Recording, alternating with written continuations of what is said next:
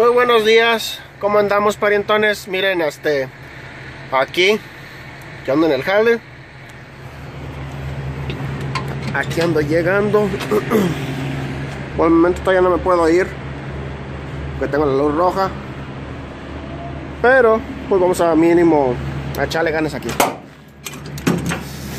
Subir aquí lo que viene siendo la patita que detiene la traila. Pues miren amigos, este video va a ser de una pregunta que me hicieron ahí en el Face. ¿Cómo se pueden agarrar papeles? Para agarrar papeles hay varias formas.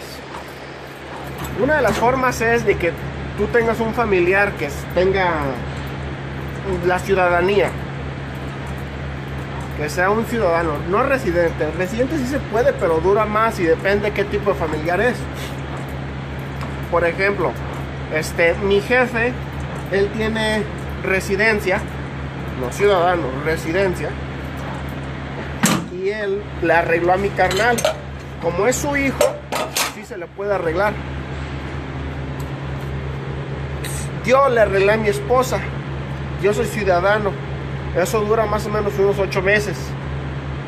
Todo depende de cómo le hagas. Hay muchas formas de hacerlo. No soy abogado, pero pueden aprender algo, tal vez. Hay formas de cómo arreglar, como por ejemplo, si tú tienes papeles y le quieres arreglar a tu jefe, tienes que ser ciudadano, tienes que tener 21 años, dura más o menos unos 8 meses. Este, todo depende, porque si entró ilegalmente y el papá está aquí, se puede demorar un poco más. Si entró legalmente es más fácil, todo depende. No soy abogado, cada caso es diferente. Puedes aún tener todo y si el migra no quiere ver algo sospechoso, te lo niega. Conozco de un caso de una mujer que su esposo este, lo mató la mafia de una forma muy cruel. Ella demostró su caso, dijo, miren, me mataron a mi esposo, tengo miedo de que la mafia me vaya a hacer algo contra mi familia. Y ella automáticamente arregló muy rápido, en menos de cuatro meses. No me acuerdo cuánto tiempo es, pero más o menos fue. Otra cosa, no piensen que aquí está todo. Estados Unidos no es Dios. Dios te puede bendecir donde quiera. No tienes que ser de aquí. Tú puedes ser bendecido en tu país. Tú le sabes echar ganas, tú eres una persona trabajadora, honesta, Dios te puede bendecir donde quiera que tú estés. Así que no piensen que aquí está ah, la bendición. Échale ganas, donde quieran que estén. Sean, estén, no sé, sean personas originales, sean personas que emprendedoras, este, trabajadoras, honestas y Dios nos va a bendecir la forma que ustedes le hagan. Si se quieren venir para acá, no estoy diciendo que no lo hagan. Otra cosa, traten de no pagar coyote, hagan ustedes mismos, olvídense de eso, ellos eso nomás quieren, la verdad se quieren chingar y quedarse con su dinero. Así que síganme ahorita, cómo pueden hacerle sobre este asunto.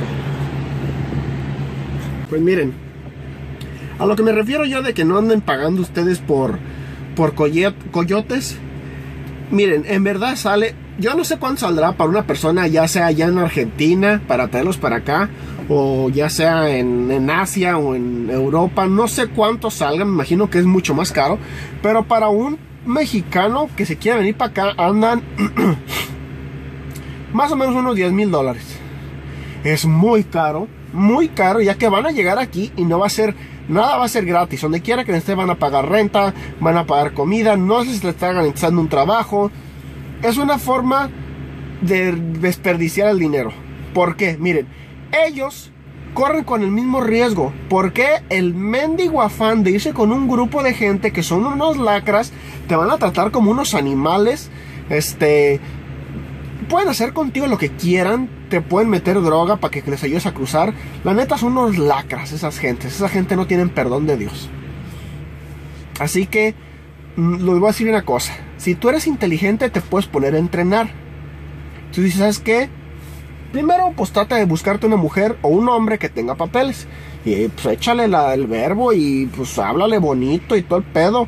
Y ya que si no se puede de esa forma, tú puedes este ponerte a entrenar. Yo pensé eso. Dije, si yo no tuviera papeles y tuviera morrillo y quisiera venirme para acá, primero pues me trato de casar con una, si veo que no se puede, le puedo echar ganas lo siguiente. Me pongo a entrenar, me voy al cerro, corro, este, como, me, llevo mi cuerpo al límite, que se entrene. Todo mundo puede entrenarse. Si los de allá de Arabia Saudita viven en esos desiertos que llega hasta los 50 grados centígrados, ¿cómo uno no puede aquí en este desiertillo que no es nada comparado con el de Sahara? Así que yo me pusiera a entrenar, me llevara un celular este con bastante saldo, un celular bastante sofisticado con un cargador solar, porque pues allá no puedes cargarlo, para si en dado caso, si tú tienes un celular mexicano y tú llamas al 911, estando aquí en Estados Unidos, va a agarrar una torre y te va a mandar a, pues a un 911 emergencias de aquí. Si en dado caso que te estás muriendo, marco al 911, pues que me lleven, prefiero que me deporten pues a que me vaya yo a morir, en el desierto. Este, me llevara ropa camuflajeada, este, mm, bastante... Prefiero ahorrar. Mira, no te vas a gastar ni mil dólares y te puedes comprar bastante equipo que te va a hacer sobrevivir puedes este, llevarte muchas, hay muchas, muchas cosas que son para sobrevivir. Primeros auxilios, este, hidratantes, pues con Gatorade, no sé, sueros, la chingada, por si en dado caso. Tratar de racionar y como les digo, entrenando. Entrenando, me investigo en internet. Cuáles son las plantas que yo puedo comer en el desierto, cuáles son los insectos que me van a hacer daño, este, de qué me puedo, tengo que cuidar, este, cómo, no sé, hay, muchas cosas, este, más o menos dónde está un GPS de tu celular que diga dónde están las carreteras, por no sé, uno puede hacer muchas cosas.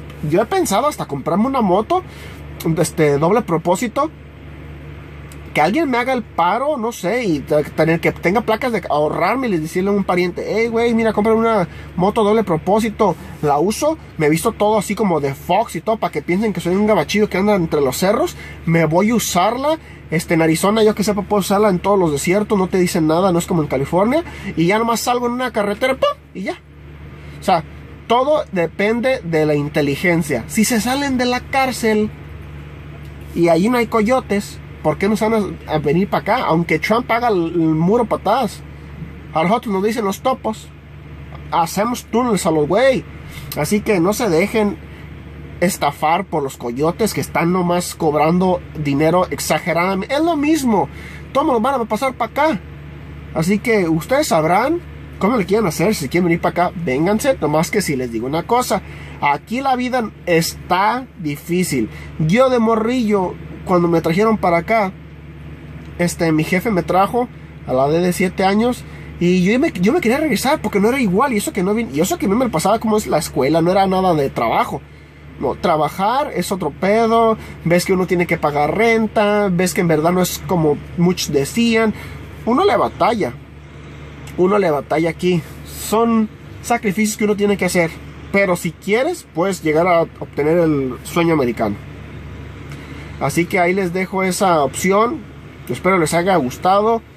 Miren, si no se han suscrito, suscrito en mi canal y nomás están mirando, suscríbanse porque yo voy a regalar unos lentes carrera y solamente son aplicables los que son suscriptores. También tengo mis redes sociales, les voy a mandar aquí más o menos por aquí voy a poner lo de mis redes sociales, este Twitter y en Twitter les voy a estar diciendo cómo este cuando tenga mis 10 mil suscriptores, voy a, regalarlo. Donde sea que sea, ya sea en España, ya sea en Argentina, Colombia, El Salvador, donde quiera, yo voy a mandarlos gratis totalmente hasta la puerta de su casa. Así que estén pendientes. Si no se han suscrito al canal de mi carnal, a los dos para que no haya cierre, suscríbanse porque muy pronto cuando cumpla el millón de suscriptores en su canal de vlogs, se va a rifar mi Racer y se va a llevar todos pueden participar. En todos lugares del mundo pueden participar. El Racer se va a llevar en persona y se va a hacer un blog con mi carnal. Así que pónganse truchas, tengan pendiente. Y si quieren que toque algún tema en especial, háganmelo saber en los comentarios este, no sé, un tema que ustedes digan, hey, ¿tú qué piensas sobre esto? O un tema controversial que esté pegando ahorita, ¿tú qué piensas sobre este, eh, no sé, este tema eh, X? Así que, pónganse metruchas, suscríbanse, denle like, compartan en sus redes sociales y ahí nos miramos. Fierro viejo.